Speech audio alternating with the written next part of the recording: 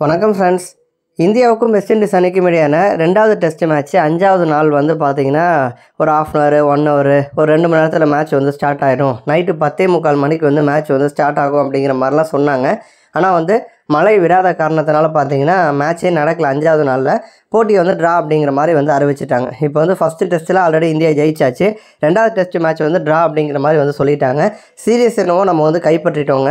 ஆனால் வந்து world test சாம்பியன்ஷிப்பில் நமக்கு வந்து ஜெயிச்சிருந்தால் பாயிண்ட்ஸ் அதிகமாக வந்து கிடச்சிருக்கும். முழு பாயிண்ட்ஸ் வந்து கிடச்சிருக்கும். இப்போ தோத்ததுனால பாயிண்ட்ஸ் வந்து ஸ்ப்ளிட் பண்ணி தான் வந்து கொடுத்துருப்பாங்க. ஸோ இது வந்து இந்தியாவுக்கு வந்து ஒரு பின்னடைவு அப்படின்னு வந்து சொல்லலாம். பட் இருந்தாலும் இயற்கை எதிர்த்து நம்மளால் ஒன்றும் பண்ண முடியாது. வேறு வழி இல்லை. நம்ம வந்து இதை வந்து அக்செப்ட் பண்ணி தான் வந்து ஆகணும். அந்த மாதிரி வந்து ஆட்டம் நடக்கலைனாலும் வந்து ப்ரெசன்டேஷன்லாம் வச்சு ட்ராஃபியை வந்து இந்தியா கிட்ட வந்து கொடுத்துருப்பாங்க. அந்த ட்ராஃபி வாங்கின சமயம் வந்து ரோஹித் சர்மா ரொம்ப எமோஷ்னலாகி வந்து பேசியிருப்பார்.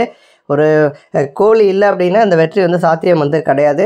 என்னதான் கேப்டனாக நான் இருந்தாலும் பிளேயர்ஸ் வந்து உற்சாகப்படுத்துறது அவங்கள வந்து ஒரு டயர்டாக விடாமல் தொடர்ந்து வந்து மோட்டிவேட் பண்ணிக்கிட்டே விராட் கோலி வந்து இருப்பார். ஒரு அவர் தனிப்பட்ட முறையிலையும் வந்து அவர் வந்து நல்லா ஆடுறாரு செஞ்சுரி வந்து போட்டார். இன்னொரு புறம் வந்து டீமையும் பார்த்தீங்கன்னா சூப்பராக என் கூட சேர்ந்து சப்போர்ட் பண்ணி வந்து அடுத்த கட்டத்துக்கு வந்து கொண்டு போகிறாரு. ஸோ அவரோட சேர்ந்து நான் அந்த ட்ராஃபியை வந்து வாங்கணும்னு ஆசைப்பட்றேன் அப்படின்னு சொல்லிட்டு விராட் கோலி அழைச்சு அவருக்கு அவரும் ரோஹிட்டும் சேர்ந்து பார்த்தீங்க அப்படின்னா ட்ராஃபியை வந்து வாங்கியிருப்பாங்க. நட்புக்காக ரோஹித் சர்மா இந்த மாதிரி வந்து பண்ணியிருப்பாரு நன்றி.